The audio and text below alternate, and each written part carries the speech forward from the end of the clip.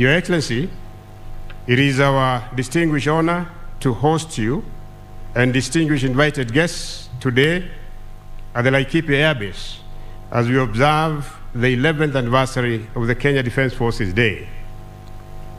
We are indeed grateful and conscious of the fact that Your Excellency has graced this occasion in the midst of your very, very schedule, a very busy schedule, as you continue to structure your new administration. In this regard, permit me, Your Excellency, on behalf of the entire Kenya Defense Forces family, to congratulate Your Excellency on becoming the fifth President of the Republic of Kenya and the Commander in Chief of the Kenya Defense Forces.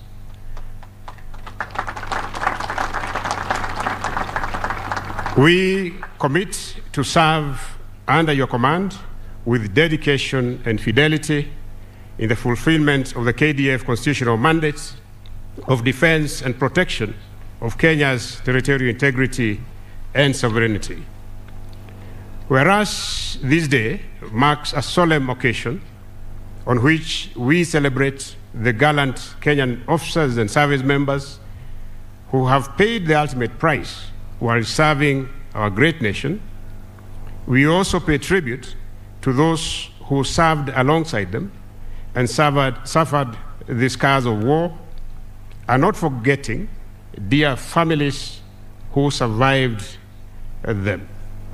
Indeed, the essence, valor, and strength of every KDF soldier is anchored in the support of families who are the backbone of our very existence. Your Excellency, the families of our gallant officers and soldiers, uh, whom we salute uh, today, have made great contributions, uh, and we recognize this contribution as one of generating KDF's fighting power. To serving and veteran soldiers and officers, we in service reaffirm our commitment uh, to your well being uh, through the established welfare framework under the Defense Com- Compensation and Welfare Services and the ongoing establishment of the Veteran Affairs Directorate following the enactment of the Military Veteran Act of 2022. In defending the country against external aggression, KDF troops have robustly continued to undertake counter-terrorism operations within and beyond our borders, which has significantly degraded the Ash-Shabaab menace.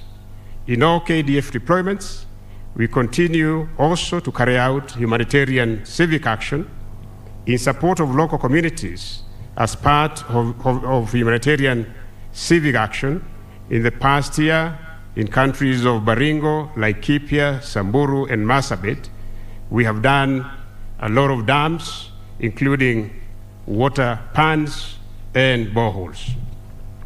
KDF has, within the multi agency framework, delivered on its mandate of assisting and cooperating with MDAs towards the provision of services to the Kenyan people.